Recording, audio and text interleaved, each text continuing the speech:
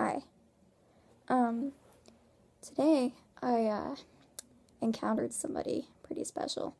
Um, looked like uh, Mel Gibson pretty much in a truck.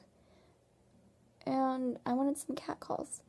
And I can't get any because I live in a reasonable, somewhat white neighborhood. So when I go to walk around the park, there's no minorities whatsoever. They're just happy, normal white families with fathers playing. And I'm not gonna get a cat call like that. So I felt like it was time to have just force myself in there, and I did it.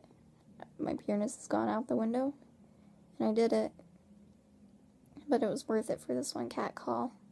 Uh, he didn't even say anything, but I'm assuming, because like if I saw me and I flashed me on the street, I, I think it would be hot because I look ten. And when I did flash him, he looked very confused. He was probably like a confused aroused because Mm, I know, yeah, I look like a boy. And there's a possibility that I'm from ages 9 to 21.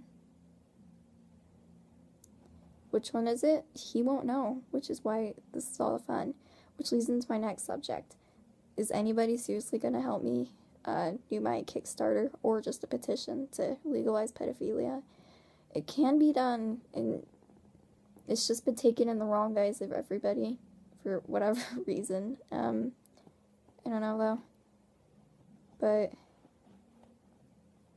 they can make decisions about love. I mean, if you feel a way for somebody, it should show. And having these feminists put girls on like labels of magazines of, look at this Halloween costume of a cute girl.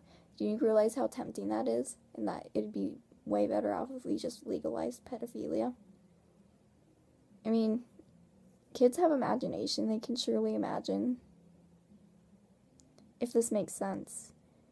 I haven't gone to sleep in about three days, so